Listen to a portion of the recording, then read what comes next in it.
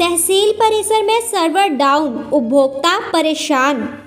तहसील एक दो तीन में रजिस्ट्रियाँ पंजीकृत करवाने आए उपभोक्ताओं को आज सर्वर डाउन होने की वजह से काफ़ी परेशानी का सामना करना पड़ा। इस मौके तहसीलदार एक से नवकीरत सिंह रंधावा ने बताया कि सर्वर डाउन होने की वजह से यहाँ रजिस्ट्रियाँ पंजीकृत नहीं हुई लेकिन फिर भी उनके द्वारा लगातार रजिस्ट्रियाँ पंजीकृत करने के लिए प्रयास जारी है उन्होंने कहा कि अगर उन्हें रजिस्ट्रियों के लिए लेट भी जाना पड़े तो वह सभी की रजिस्ट्रियाँ पंजीकृत कर ही वापस जाएंगे ਅਹ ਦੇਖੋ ਯਾਰ ਅੱਜ ਸਵੇਰ ਤੋਂ ਹੀ ਥੋੜਾ ਬੈਕ ਐਂਡ ਤੇ ਇੰਟਰਨੈਟ ਦਾ ਇਸ਼ੂ ਆ ਰਿਹਾ ਅਹ ਇੰਟਰਨੈਟ ਅਹ ਚੱਲ ਨਹੀਂ ਰਿਹਾ ਤੇ ਉਹਦੇ ਕਰਕੇ ਤਾਂ ਕੋਈ ਰਜਿਸਟਰੀ ਨਹੀਂ ਹੋਈ ਪਰ ਲੱਗੇ ਹੋਏ ਨੇ ਸਾਰਿਆਂ ਨੇ।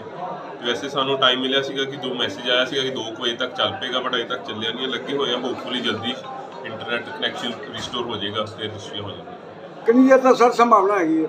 ਤੁਹਾਨੂੰ ਦੱਸਿਆ ਸਾਨੂੰ ਵੈਸੇ 2 ਵਜੇ ਦਾ ਮੈਸੇਜ ਮਿਲਿਆ ਸੀਗਾ ਬਟ ਇੱਕ ਵਾਰੀ ਮੈਂ ਫਿਰ ਤੋਂ ਰੀਕਨਫਰਮ ਕਰ ਲੈਣਾ ਮੇਰੇ ਖਿਆਲ ਨਾਲ ਕਿਸੇ ਵੇਲੇ ਵੀ ਹੁਣ ਹੋ ਸਕਦਾ ਵੀ ਕੰਮ ਕੁਝ ਹੋ ਸਕਦਾ। ਤੇ ਸਰ ਜਿਨ੍ਹਾਂ ਦੀ ਅੱਜ ਨਾ ਹੋਈ ਤੇ ਅਪਾਇੰਟਮੈਂਟ ਕੈਂਸਲ ਹੋਈ ਉਹਨਾਂ ਬਾਰੇ? ਅਜੇ ਤੇ ਆਪਾਂ ਕਰਕੇ ਜਾਵਾਂਗੇ ਦੇਖੋ ਹਜੇ ਤੇ ਉਮੀਦ ਹੈਗੀ ਆ ਵੀ ਇੰਟਰਨੈਟ ਦਾ ਕੋਈ ਨਾ ਕੁਝ ਹੱਲ ਕਰਕੇ ਜਾਵਾਂਗੇ। ਥੋੜਾ ਲੇਟ ਬੈਠਣਾ ਪੈ ਜਾਏਗਾ ਲੇਟ ਬੈਠ ਜਾਾਂਗੇ ਬਟ ਕਰਕੇ ਜਾਵਾਂਗੇ।